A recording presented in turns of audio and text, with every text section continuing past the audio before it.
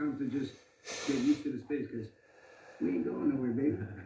I, I know you're um, you're locked in on what Park the people are saying, uh, online, especially. Are you getting the love? Are you feeling the love from the people?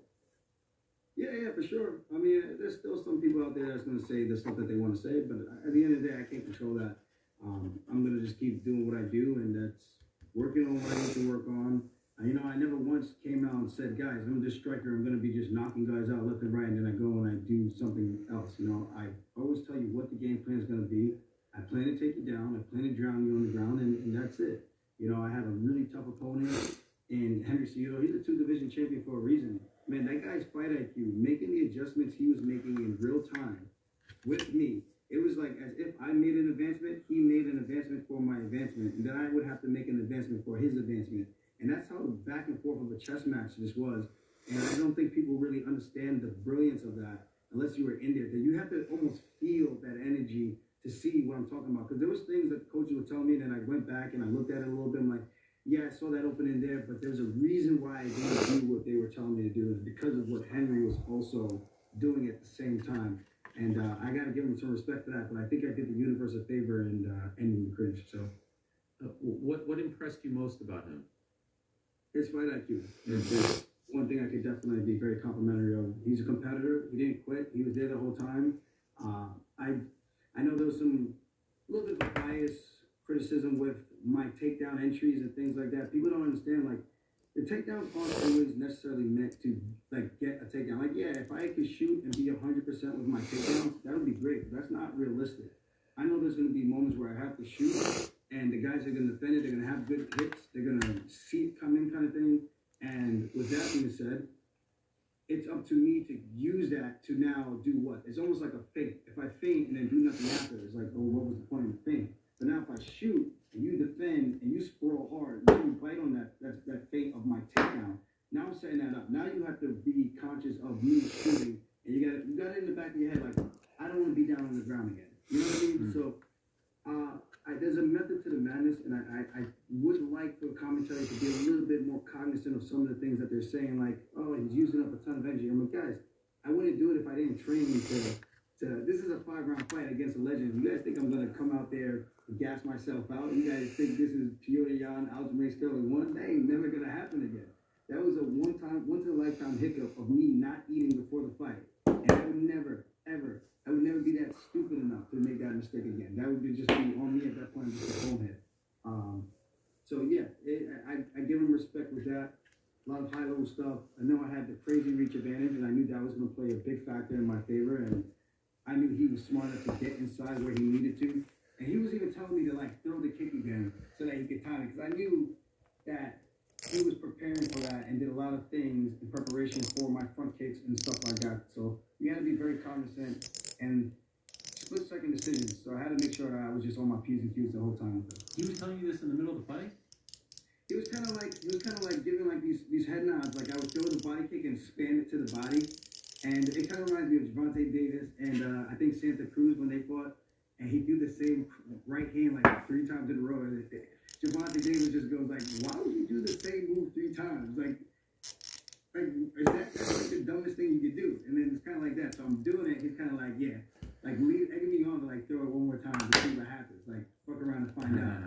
But I had to make sure like I had to like play that game a little bit with him. So it was definitely a high level battle. Um, I would appreciate maybe even fighting him again, to be honest, because part of it still makes me feel like I, I want, I like to be dominant, and maybe there's a part of me that wants to like do it in a way where I finish it. Because I know if I took him down earlier, when I got those positions where I got to his back, where I got the wrist control correctly, Não, if I had você more fez, time, not even é, that não much, if I roubou. did it early in the round, I think the fight's over. Um, if I didn't give him that Certo. first round takedown and have to battle back, and I got the takedown first before he did, that sets the tone, and probably the fight's over right there also.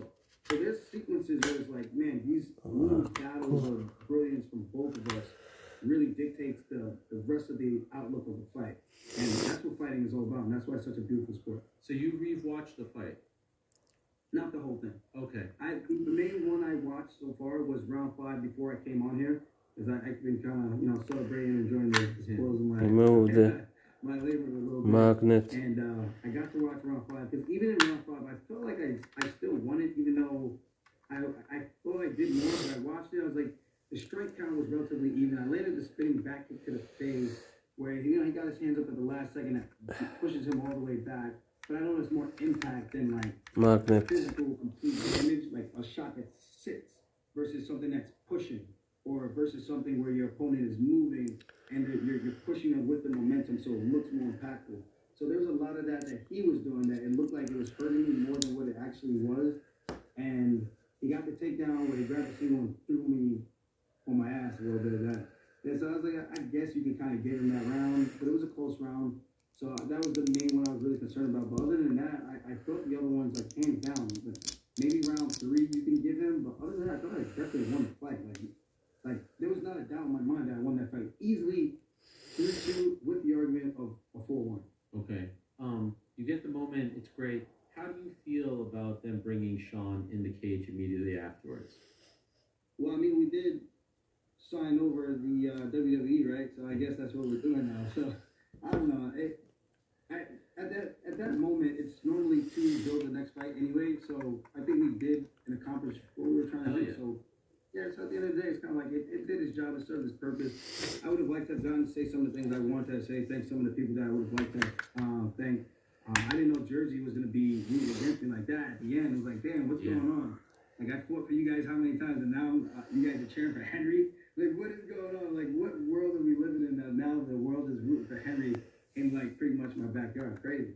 Well, I, I was just wondering. I think you a thousand percent sold the fight. I think it's going to be used a million times whenever you guys fight, and we'll get to that in a moment. But I was just wondering if you felt at all like it took away from your moment. It's you know sometimes they do it, sometimes they don't, and I don't know if they boo you afterwards if that moment doesn't happen. So I, I just didn't know if you were annoyed at all by it.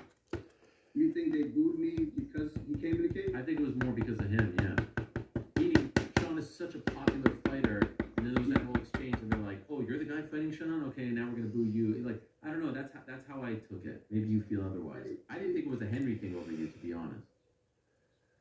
Uh, well, I don't know. I felt like they started booing a little bit, or maybe the the com- the, clash of boos and cheers for the decision. Maybe that's what probably was hard to hear and like decipher between. But maybe that is why, because Sean is like I don't know every young teenager's dream for some reason. It's like weird. It's like I got colorful hair, I got tattoos on my face, smoke weed, I make funny videos, uh, I'm tall, um, the shoe show.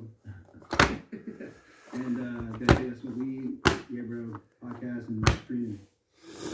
But it will be. I mean, do you agree that would, uh, business wise, that will be the biggest fight of your career, right?